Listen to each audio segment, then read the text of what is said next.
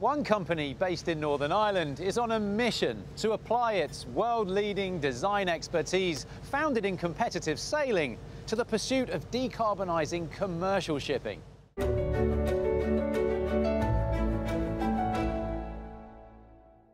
They've been trailblazers for years, designers, engineers, craftsmen and sailors who reached the very pinnacle of their sport. Now, this team harnesses the design expertise and the skills forged in the crucible of international yacht racing for another purpose the pursuit of shipping zero carbon future. CEO of Artemis Technologies is double Olympic gold medalist Iain Percy. We're a competitive bunch and we want to cross the finish line first, but uh, wasn't our motivation. Our motivation was the climate challenge that faces us and the recognition that there was part we could have to play in that. Artemis Technologies was established four years ago. Back then, the IMO had just announced its wide ranging emission targets, and the team competing in the America's Cup in Bermuda at the time knew they wanted to play a role. The boats that we developed for racing demonstrated staggering efficiency. Using the wind alone, we're able to travel at 50 miles an hour with just a few puny people turning handles. And it really was that realization that if craft can be made that efficient, why? Why are we burning so many fossil fuels in the maritime industry?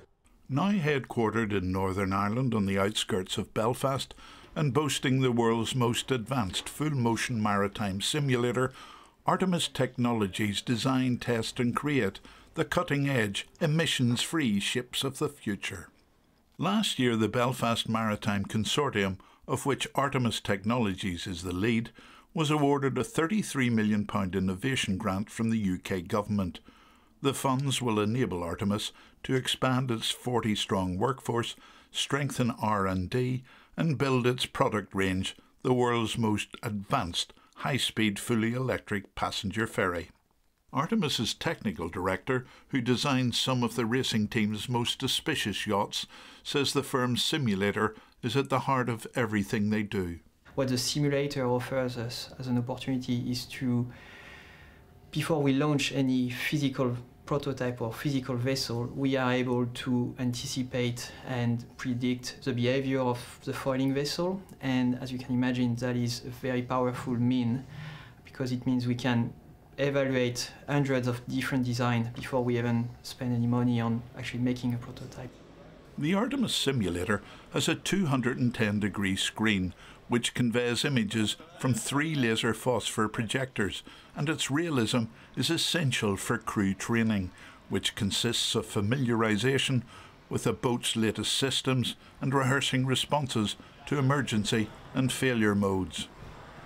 Further along the production process is the Artemis e-foiler, based on unifying an electric drivetrain into an independently controlled carbon fibre hydrofoil, the team says it's the first viable solution for the early adoption of high speed zero emissions maritime transport.